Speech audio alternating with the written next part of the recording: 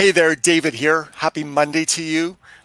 I'm going to take the challenge and I'm going to issue this challenge. I saw this quote from Simon Sinek on LinkedIn today, and it says, Before we can stand out, you have to find out what you stand for. And I think it's a really good exercise and it's a really good challenge. So, so thank you, Simon. I'm going to answer that question over the next couple minutes. What do I stand for? And then I'm going to challenge you uh, to answer the same question. I'm a leadership trainer, coach, performance development. I love human behavior. And so here's what gets my juices running. And here's why I do what I do. I believe as leaders and organizations, you have low hanging fruit.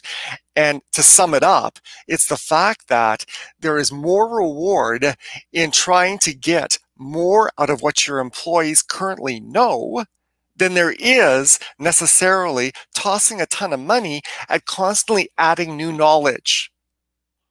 I think that knowledge is awesome, but I think it's overrated by today's leaders and uh, and organizations. And what do I mean? Because it is awesome. Knowledge is necessary for results. But I, I want you to take this quiz. Uh, so look at those three faces, press pause if you haven't already figured them out, and, uh, and then decide who these people are. So go ahead, press pause, and I'll come back with the answer when you press play again. If you guessed it right, here is uh, the, the answers to the three people on the screen. On the far left is Suze Orman. She is a financial guru. Many of you have seen her. She tells people how to manage their money, no matter how much you make, how to get the most out of it, and to live in greater financial freedom. In the center is Stephen Covey, author, speaker. Most famous book is Seven Habits of Highly Effective People. And on the far right is the dude that started this video for me and put up that quote. He's Simon Sinek. And start with the question, why is his book? These three have reached hundreds of millions, if not a billion plus people on the face of this earth. They've achieved huge exposure. And what they talk about is powerful in terms of its truth. Their principles work. And not only is it powerful information, but it's presented in a powerful way because they're effective presenters. And so if powerful stuff is presented in a powerful way, it should end up with results, right? And I'm I'm not saying they haven't had results. I appreciate who they are and what they do. I'm not saying that I haven't had results as a trainer, a speaker. But why aren't we there yet? You can't say that because personal debt in North America keeps on going up. It's not going down. People aren't following that advice. Um, you know, there are a whole bunch of people with crappy discipline out there that don't have a clue on how to develop good habits, even though they've read the book. And there are a lot of people that don't start with the question why. And they're great people that choose jobs for the pay or the title. And they put a great person in very much a hell that kind of chains them up for the number of years that they stay in that environment. So here's my truth. And what I get passionate about, there's a gap between knowledge and results. Because you've got some people in your organization who know better than what they're doing. if you counted them up, how many would they be that know better than what they're doing? Um, and the, here, here's the here's here's the rub is that a lot of leaders make it personal. So you have an employee that's not performing up to your expectations of their of their potential, and so what you do is throw more learning at them and learning at them and learning at them, and you throw more knowledge at them. But then they're still not you're not getting the results out of that. Now you've spent a lot of money, and so you start calling them in your mind names.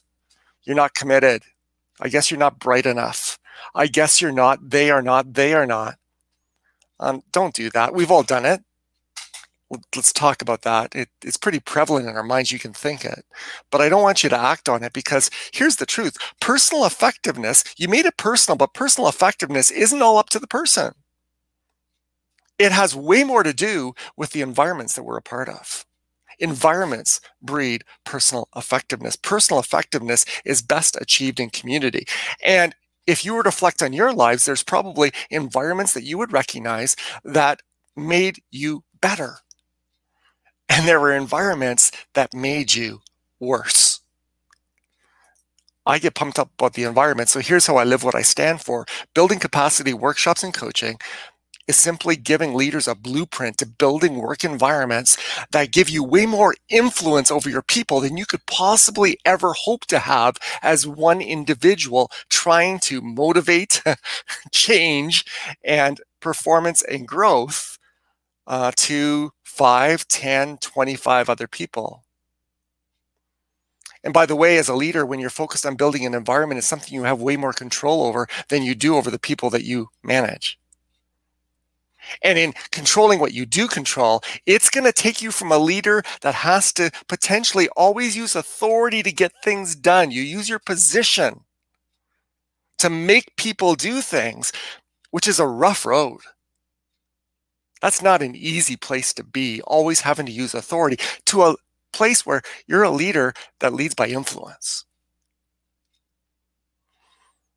And people, you see the change, and your days get better and get lighter. It doesn't mean there's no stress, but fundamentally, it's a different place for you as a leader, and it's a different place for you as an employee, and it's a place that, as people and as a company, you should want to be